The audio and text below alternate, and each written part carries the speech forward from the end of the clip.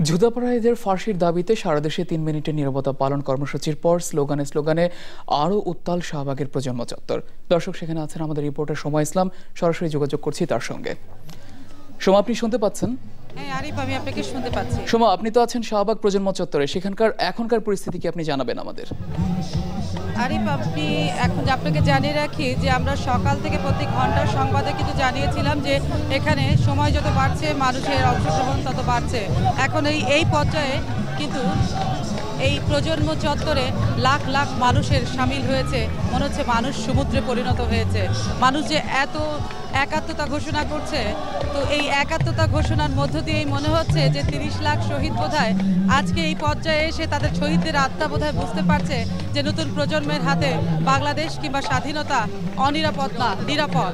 আরিফ, আমি আপনাকে আপনার মাধ্যমে একটা বিষয় জানিয়ে রাখি। রাত পোহালেই কিন্তু পহেলা বসন্ত। আর এই পহেলা বসন্ত প্রত্যেক বছর এই শাহবাগ চত্বরে শত শত ফুলের দোকানে হাজার হাজার ফুল বিক্রি হয়। কিন্তু আজকের এই প্রজন্ম চত্বরের অষ্টম দিনের আন্দোলনে আগামীকাল পহেলা বসন্ত হলেও কিন্তু ফুলের দোকানে কোনো ক্রেতা নেই, কোনো বিক্রেতাদের তাতে কোনো ক্ষোভও নেই। কারণ ফুলের দোকানের প্রত্যেকটা ক্রেতা এই শাহবাগে এক একটা ফুলের বাগান তৈরি করেছে বলে মনে করছে এই প্রজন্মের, যারা আন্দোলন করছে এই প্রজন্মের আন্দোলনকারীরা। তারা বলছে যে তারা মানে একটা বসন্ত পালন না করলেও হবে। এই প্রজন্মের এই চত্বর থেকে যে প্রতিবাদ, তারা বলছে যে বসন্তের যে ক্ষত, যুদ্ধাপরাধীদের বিয়াল্লিশ বছরে যেটা এখনও হয়নি, সেই ক্ষতটাকে তারা এই বসন্তেই মাটি দিতে চায় বাংলার বাংলার মাটিতে। আরিফ, আমি আপনাকে আরেকটু জানিয়ে রাখি যে এখানে যে মানুষের অংশগ্রহণ রাত বাড়ার সঙ্গে সঙ্গে হচ্ছে, তাতে কিন্তু মনে হচ্ছে যে শাহবাগ চত্বর এই যুদ্ধাপরাধীদের দাবির জন্য এই জায়গা অনেক কম হয়ে গেছে। লক্ষ লক্ষ মানুষ বাড়ছে।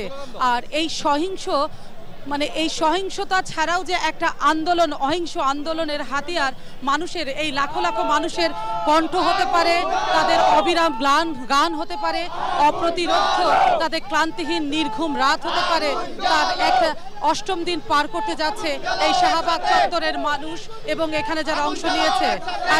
আমি আপনাকে আবারও বলছি যে এখানে কিন্তু ক্রমেই মানুষের মানে অংশগ্রহণের একাত্মতা অপ্রতিরোধ হয়ে দাঁড়িয়েছে এবং তারা কিন্তু আবারও একটি কথাই বারবার বলছে যে তাদের দাবি আদায় না হওয়া পর্যন্ত মানে যুদ্ধাপরাধীদের বিচার না পর্যন্ত তারা ঘরে ফিরে যাবে না এবং তারা সরকারকে এই মঞ্চ থেকে বারবারই করজোরে অনুরোধ করছে, আহ্বান করছে এবং সেই সাহা- আহ্বানে সামিল হয়ে তারা আজকে তিনটা, চারটা থেকে তিন মিনিটের জন্য স্তব্ধ করে দিয়েছিল বাংলাদেশকে।